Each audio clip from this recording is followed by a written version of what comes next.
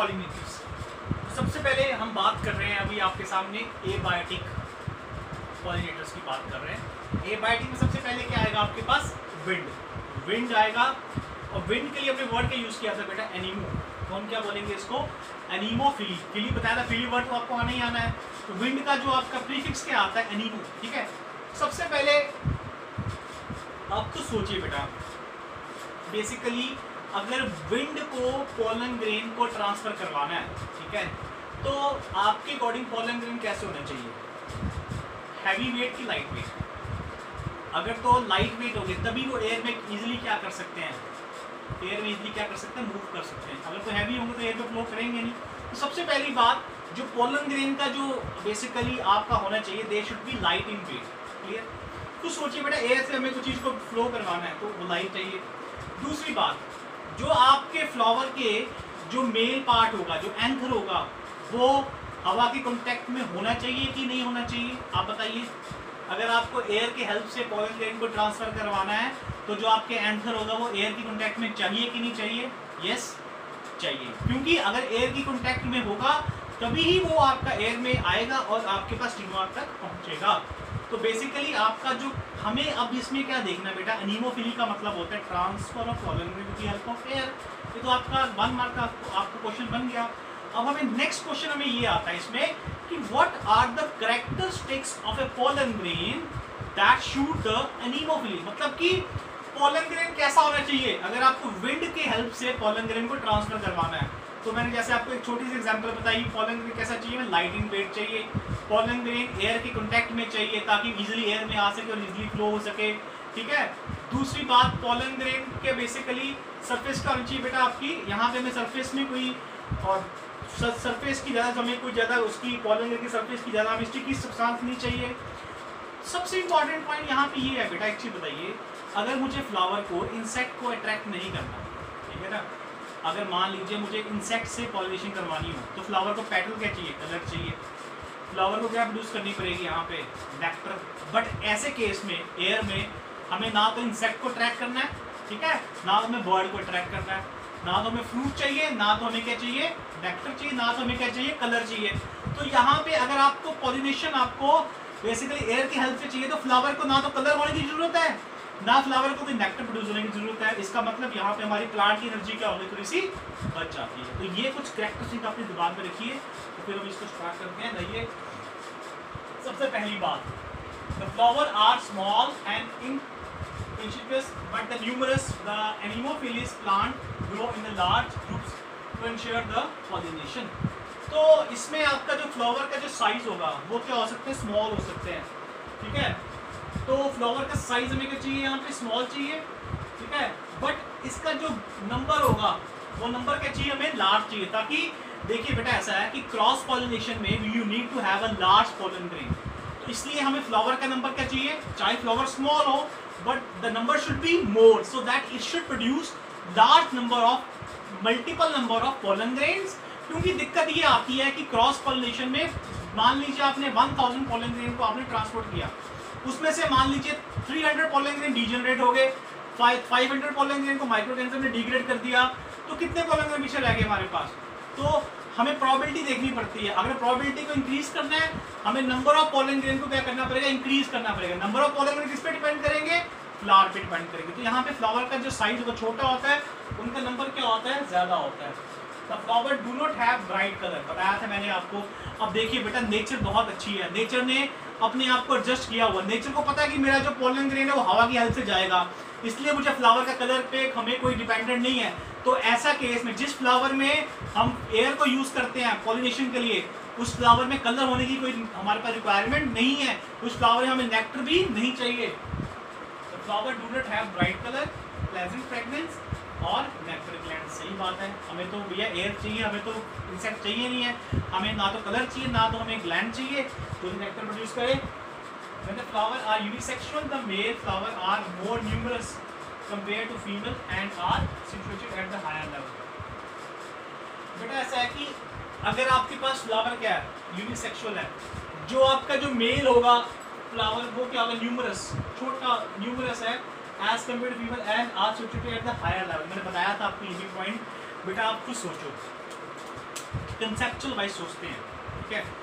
ऐसा है कि मुझे बताइए, अगर फ्लावर आपका यूनिसेक्सुअल है तो मुझे बताइए अगर पॉलन ग्रेन को आप हवा की हेल्प से ट्रांसफ़र करना चाहते हैं तो जो एंथर का पार्ट है, वो फ्लावर के ऊपर आना चाहिए कि नीचे आना चाहिए? हाइट उसकी ज़्यादा चाहिए कि कम चाहिए? अगर हाइट कम होगी तो वो एयर के कॉन्टैक्ट में आएगा ही नहीं।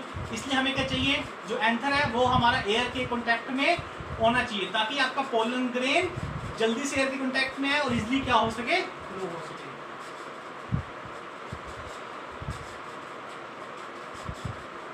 Lower flowers of inflorescence open earlier pollen from upper flower pollinate them ठीक है?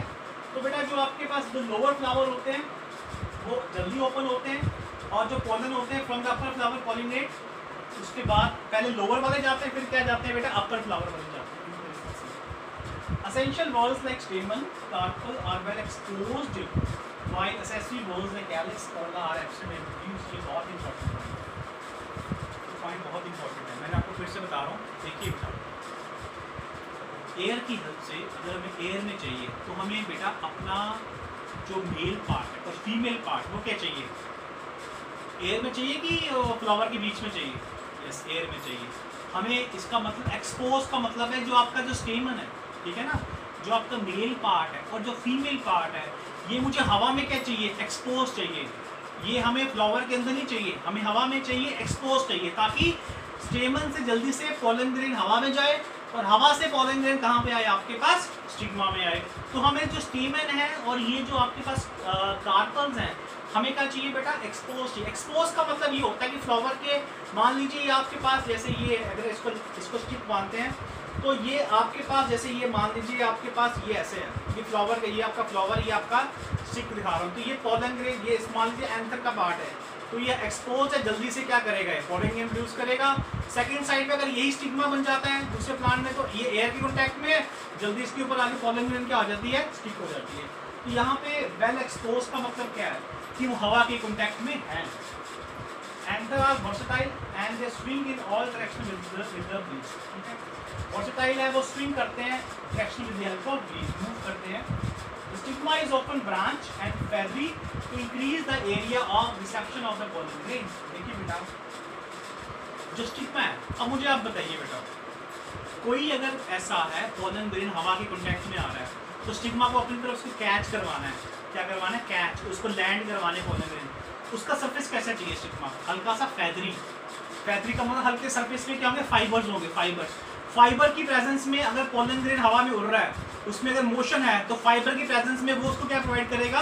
रेजिस्टेंस प्रोवाइड करे जिसकी वजह से वो वहाँ पे क्या कर जाएगा? लैंड कर जाएगा। ये पॉइंट बहुत ध्यान से समझना आपने कि मान लीजिए आपके पास हवा में पोलन ग्रेन चल रहा है, ठीक है? और स्टिग्मा पे, अगर स्टिग्मा का सरफेस बिल्कुल क्या हो स्मूथ हो तो हो सकता है मोशन की हेल्प से वो फर्दर आगे मूव कर जाए। बट स्टिग्मा का सरफेस हमारा क्या है? रफ है। रफ का मतलब उसमें हल्के से क्या है? फैदर्स हैं, ठीक है? हेयर लाइक स्ट्रक्चर्स हैं। तो हेयर स्ट्रक्चर के कारण आपका एंथर का जो पोलन ग्रेन होगा, वो वहाँ पे क्या कर जाएगा? स्टिक कर जाएगा due to the resistance provided by the feather pollen grains are produced in large numbers. As there is a more wastage. Pollen grain हमें क्या चाहिए बेटा? लार्ज नंबर में चाहिए। क्योंकि हमें पता है कि एयर में कुछ pollen grain क्या हो सकते हैं आपके? डीजनरेट अगर आपको फर्टिलाइजेशन करवानी है नेचर को तो आपकी क्रॉस पॉलिनेशन में pollen grain क्या प्रोड्यूस होते हैं? बहुत ज़्यादा। Pollen grains are small. ठीक है ना? Small pale yellow smooth smooth का मतलब क्या है? सरफेस क्या है? सरफेस पे कुछ एग्जैक्ट कोई और चीज़ें नहीं है स्मूथ है। ड्राई है। मे बी विंड ड्राई चाहिए। एयर से मूव करवाना है। तो हमें क्या चाहिए? ड्राई अगर हल्का सा मॉइस्चर होगा तो उसकी एयर में जो उसकी जो वेलोसिटी होगी मूवमेंट होगी, थोड़ी सी कम हो जाएगी। अब एयर में मूवमेंट करने के लिए कुछ पोलन ग्रेन के ऊपर सरफेस पे क्या होते हैं? विंग्स होते हैं। So that they may be carried to the greater distance by the wind ठीक है? अगर आपको क्वेश्चन ये आता है बोर्ड में कि what are the characteristics of a pollen grain that allow to move in the air सबसे पहले क्या है? स्मॉल उसके बाद स्मूथ उसके बाद ड्राई और विंग ये कंसेप्चुअल क्वेश्चन आपने याद रखना है। Wind pollinated flower like Utica. Utica have ex, ex, explosive mechanism by which anther burst and such and such are the air with the pollen अब ऐसे कुछ हमारे पास विंड पॉलिनेटेड फ्लावर्स होते हैं, जैसे ये आपके पास यूटी का होता है। ये क्या करता है? इसके पास एक्सप्लोसिव मैकेनिज्म है। इसमें क्या होता है? जो आपका एंथर है ना एंथर आपको पता है एंथर में पोलन ग्रेन्स होते हैं। एंथर बर्स्ट करता है। बर्स्ट उसकी बॉल बर्स्ट करके सारे पोलन ग्रेन कहाँ पे आ जाते हैं? हमारे पास एयर में आ जाते हैं। In plant like maize the male flower are at apex while female flower at the base to facilitate the pollination तो इसमें आपके पास मेज वगैरह में देखिए, जो आपका जो मेल फ्लावर होता है, वो कहाँ पे होता है? एपेक्स पे टॉप पे होता है, और जो फीमेल फ्लावर वो कहाँ पे होता है आपका? बेस पे टू फैसिलिटेट द पॉलिनेशन ठीक है? Many plants are wind pollinated बहुत सारे प्लांट्स हमारे पास, जिससे पॉलिनेशन किसके हेल्प से होती है बेटा? विंड की हेल्प से होती है। इसकी एग्ज़ाम्पल बहुत अच्छी तरह याद कर लेनी है आपने। जैसे आपके पास मोनोकोट्स का मतलब है seed which contain one cotyledon उसको बोलते हैं monocots seed that contain two cotyledon they are called dicots तो इसमें एग्जांपल आपने सारी याद कर ली डेट फॉर्म की है कोकोनट फॉर्म की है grassy sugar cane wheat rice waste ज्वार. डाइकॉट्स में आपके पास क्या अमर तरह से आता है? पपाया ऑफ़ ये सब आपने एग्जांपल्स कर लेनी है. तो with this we come to end with that video on the anemophily और इसमें आपने मेन पॉइंट जो याद करना है बेटा करेक्टरिस्टिक्स याद करने हैं, जो कि एनीमोफिली को क्या कर रहे हैं फेवर कर रहे हैं। अगर मान लीजिए, यहाँ पे मैं बोल दूँ कि जो आपका पॉलन वो वेट है तो क्या वो मूव कर देगा नहीं। तो अगर नेचर ने विंड पॉलिनेशन करवाना है तो उसके जो पॉलन गिरिंग के जो करेक्टरिस्टिक्स होंगे फ्लावर के जो करेक्टरिस्टिक्स होंगे, वो वो होंगे जो एयर को क्या करेंगे? सूट करेंगे। Thank you